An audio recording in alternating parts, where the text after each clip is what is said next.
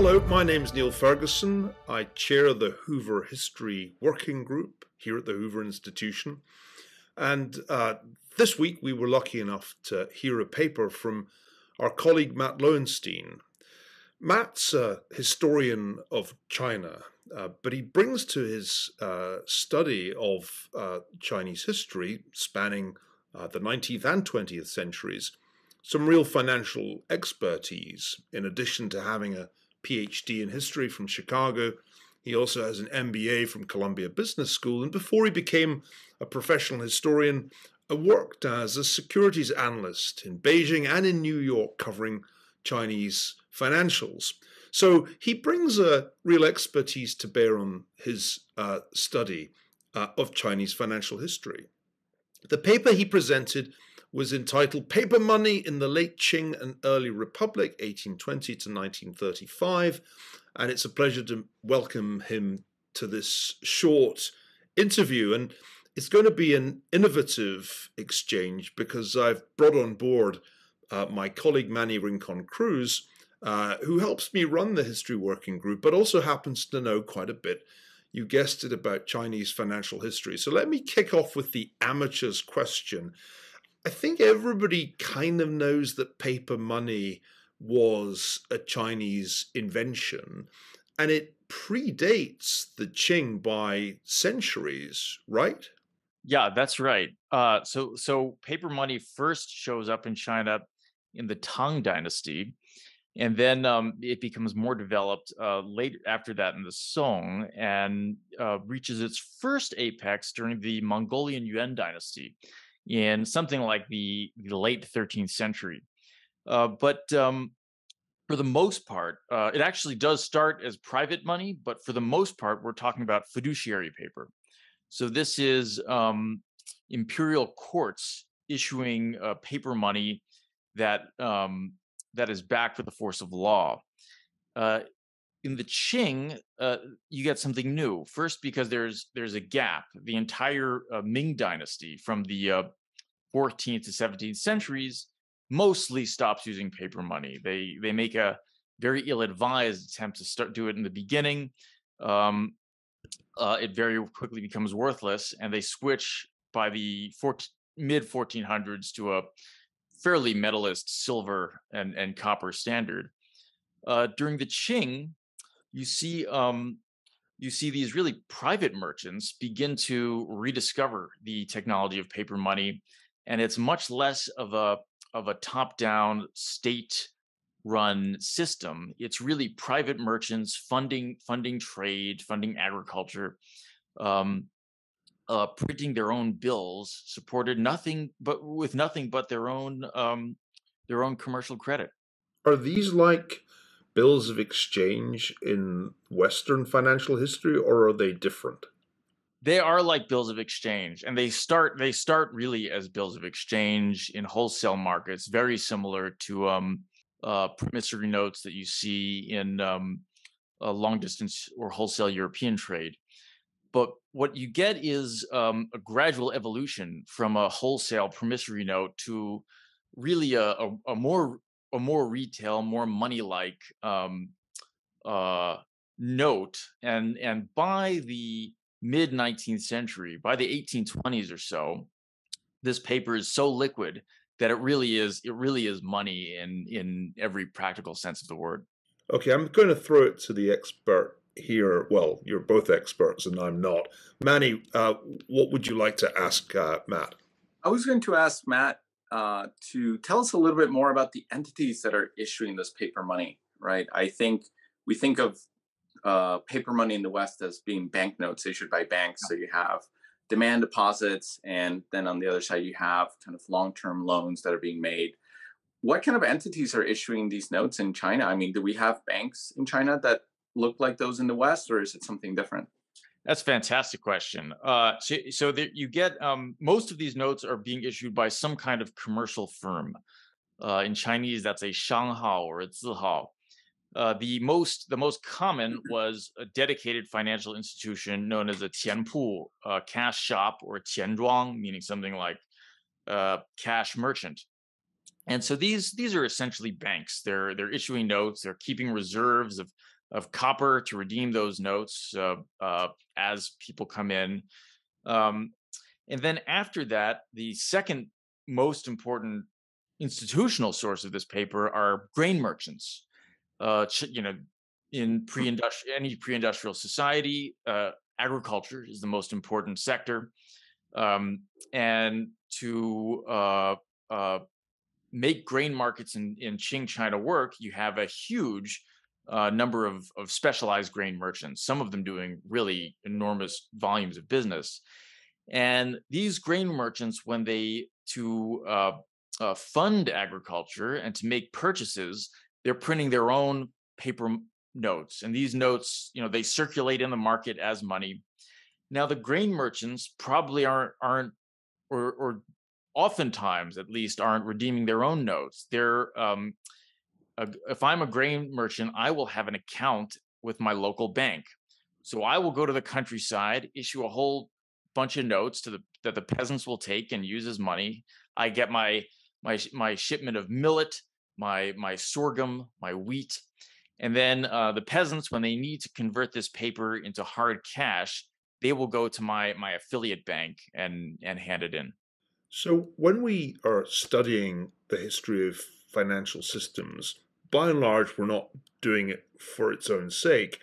We're doing it because it helps us understand how uh, institutions like uh, the Qing Empire or the early Republic worked. What's the, the takeaway? Why does this matter? And does it give us a clue as to the enormous political changes that occurred between the Qing uh, and the Republican era? Yeah, absolutely. So the first um, the first reason it matters is is so that we can is to understand how it is that China went um, from being that China essentially doubled its population, uh, sorry, quadrupled its population and doubled its size between the Ming and the Qing. And there's um, ver- uh, several competing theories about how this happened. For some scholars, there's really no structural changes in Chinese society um, as far back as the uh, oh 13th century or so. It's just more of the same. And so to, to put it somewhat crudely, there's a Malthusian dynamic at play. For other scholars, you can't get this kind of growth um, with without and while still sustaining standards of living, uh, which they did, without some kind of um, innovation.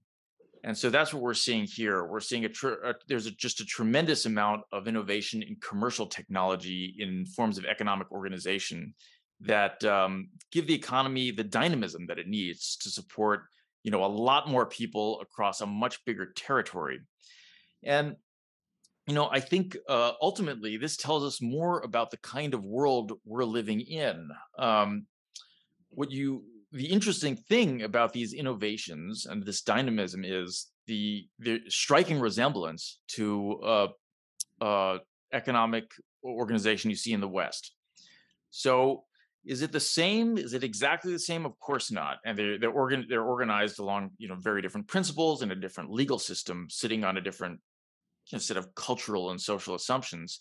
But at the same time, we get things that are recognizably a lot like Western banks issuing something that's a lot like the banknotes being seen in the West. And so this this tells us that um, you know, while history uh, doesn't follow any telos or or any cycle, it is subject to some kind of um, to some patterns.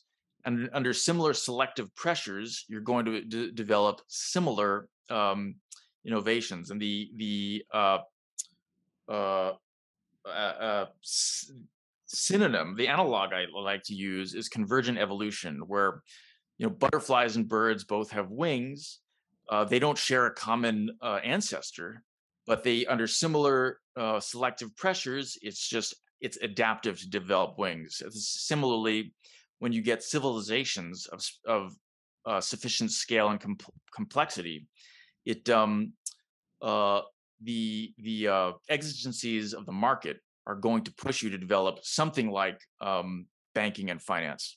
So the institutions that you describe were not copied uh, from Western models.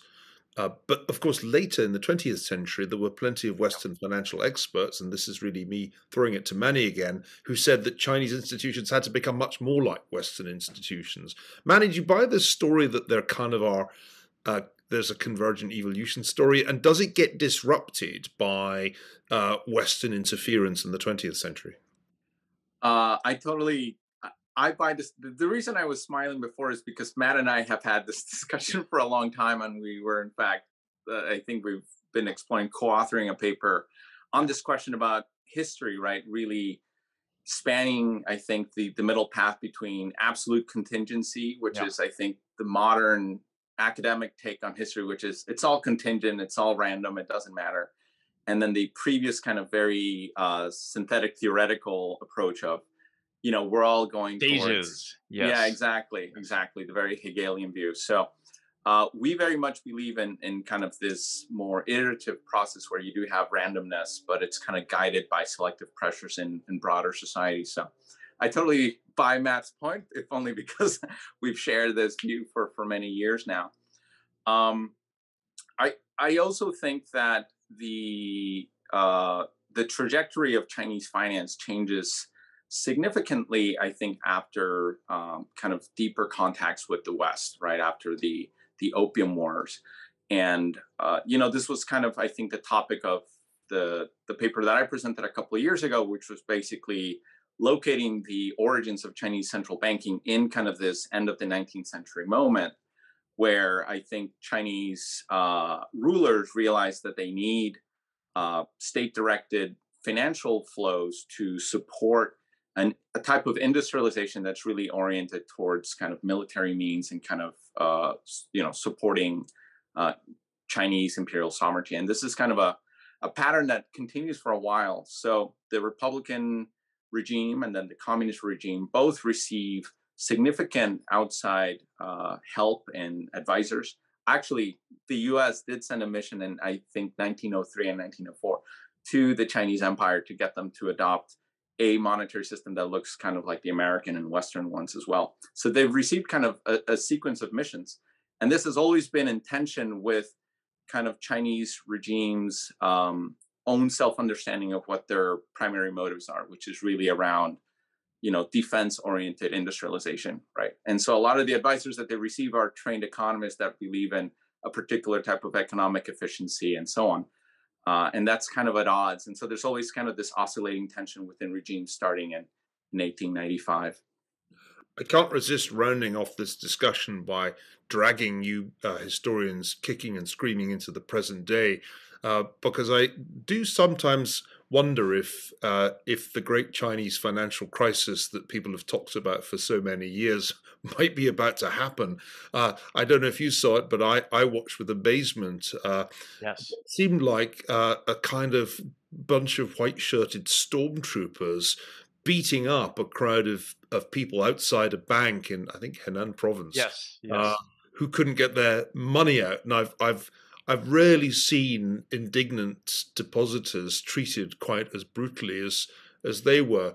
Is is there uh, is there something going on in, in contemporary Chinese finance that has you uh, worried and paying attention? Oh, very much so. And I, I would say, um, you know, it wasn't just uh, white shirted people people with fists. They had I don't know if you saw these pictures, but they they were at one point surrounded the bank with tanks.